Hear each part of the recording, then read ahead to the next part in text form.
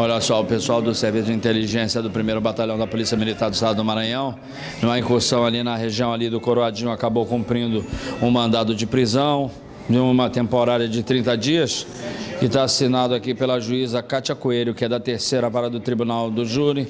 Ela manda recolher por 30 dias por mandado de prisão né, o seu William alguns crimes, né? De homicídio. De homicídio lá pelo, pela área do Coroadinho, morro do Zé Bombom, e foi expedido esse mandato de prisão e aí com, é, fizemos o levantamento e conseguimos é, é, capturar o, o Lontra e de quebra também fazer a prisão do, do Ailton. Né? A gente já vinha monitorando o o William, né, vulgo Lontra, ao passarmos lá pela rua do Arame, né, observamos ele na porta da, da casa do, do Ailton, do Ailton. Fizemos a, a volta e no momento em que nós paramos na porta do, do Ailton, ele ainda tentou sair correndo, o Ailton.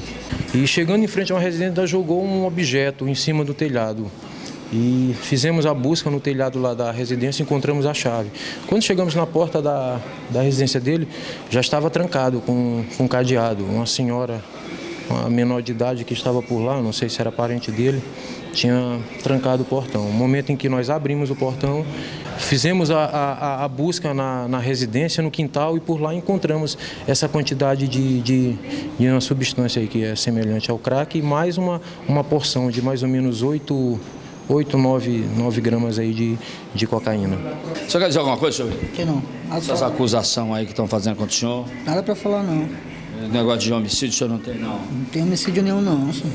Olha, aí está aí o senhor William, está dizendo que na verdade não está devendo nada e que o senhor não tinha conhecimento desse mandado aí, não, né? Não. Essa droga estava com o senhor?